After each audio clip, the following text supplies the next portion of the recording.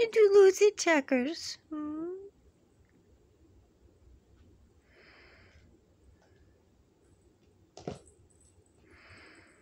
Morning, everyone. Uh, I know. This is my cat Checkers. Playing with a little toy I made for her.